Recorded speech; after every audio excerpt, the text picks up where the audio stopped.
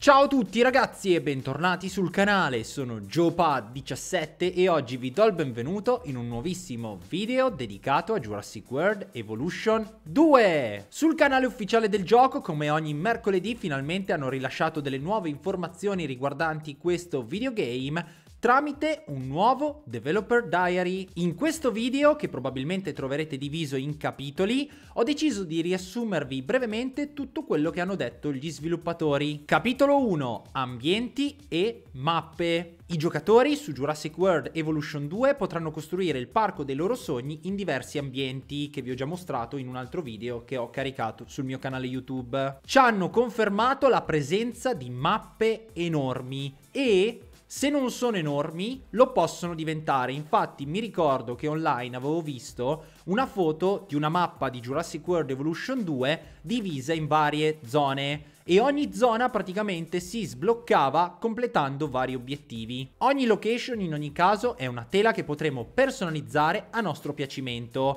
Per esempio avremo un sacco di strumenti per modificare il terreno. Naturalmente in base al bioma che sceglieremo dovremo affrontare delle calamità naturali legate proprio a quel bioma che abbiamo scelto o dovremo affrontare delle sfide specifiche. Come vi avevo già detto nell'ultimo video che avevo caricato pochi giorni fa sul canale, gli edifici che costruiremo potremo aggiornarli per proteggerli meglio contro gli effetti delle varie calamità naturali. Capitolo 2 Jurassic Park o Jurassic World? A voi la scelta. In modalità sandbox, come anche su Jurassic World Evolution 1 dopo aver acquistato l'espansione Return to Jurassic Park, avremo la possibilità di scegliere se costruire il nostro parco in era Jurassic Park o in era Jurassic World. Chi acquisterà questo gioco su PC, PlayStation 5 o Xbox Series X avrà anche la possibilità di mischiare le due ere e quindi poter costruire sia edifici dell'era Jurassic Park sia edifici dell'era Jurassic World. In ogni caso potremo personalizzarli come vorremo e saranno presenti sia edifici che già conosciamo bene, sia edifici completamente nuovi. Potremo quindi creare un parco con un'atmosfera unica, nuovi edifici e squadre di supporto. Tra i nuovi edifici saranno presenti anche strutture che ci permetteranno di ospitare membri chiave del nostro staff e squadre di supporto che ci aiuteranno a mantenere il controllo del parco e alto il benessere dei nostri dinosauri. Il control center, per esempio, sarà il nostro quartier generale. Lì potremo assumere vari scienziati che ci permetteranno di sviluppare il nostro parco, sbloccando potenziamenti, miglioramenti, eccetera, eccetera. Con lo staff center potremo tenere sotto controllo il morale degli scienziati che abbiamo assunto.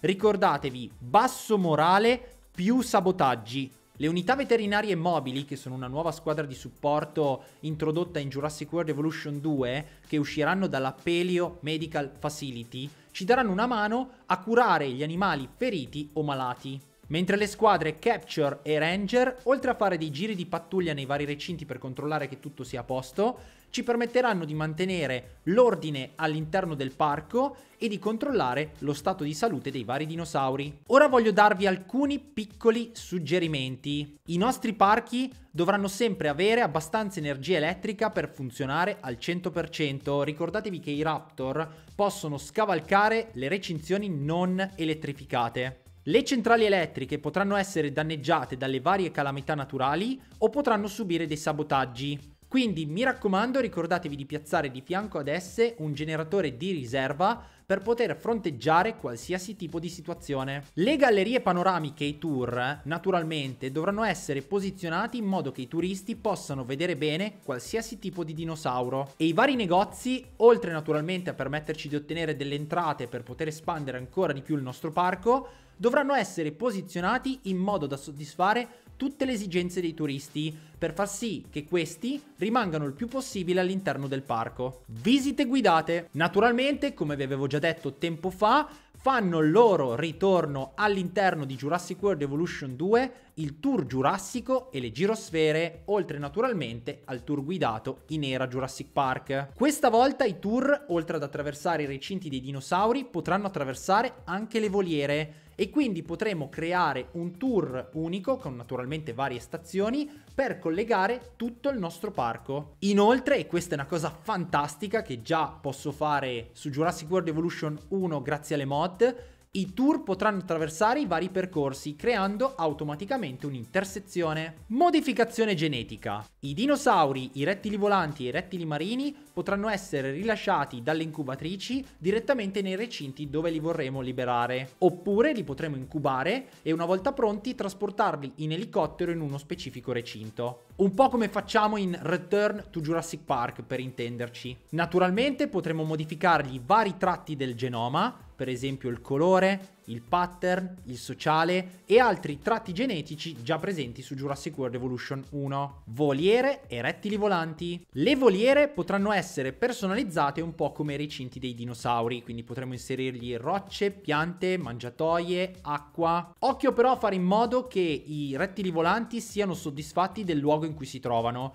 perché se no sfonderanno il tetto della voliera e scapperanno in giro per il parco. Sì, li potremo catturare e riportare al sicuro, però nel mentre causeranno il caos e spaventeranno i vari turisti. Non so dirvi se potremo ricreare la scena presente nel film Jurassic World dove l'assistente di Claire viene catturata da uno di questi rettili volanti e gettata nella laguna del mosasauro.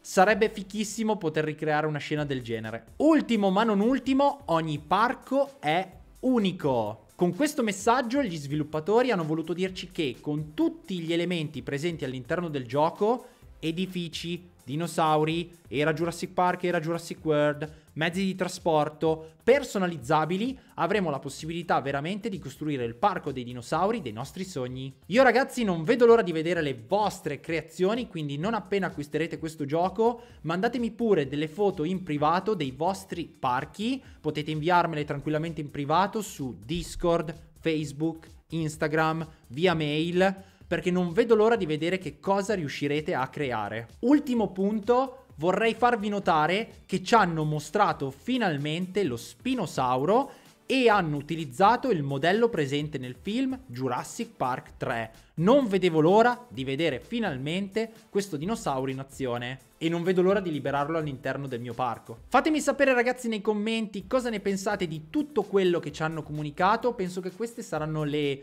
due settimane più lunghe della mia vita, perché non vedo l'ora che sia già il 9 novembre, per mettere le mani su questo videogame. Come sempre, se questo video vi è piaciuto, mi raccomando lasciate un bel mi piace, commentate, condividete, iscrivetevi al canale e noi ci rivediamo in un prossimo video sempre qui sul mio canale YouTube. Alla prossima ragazzi!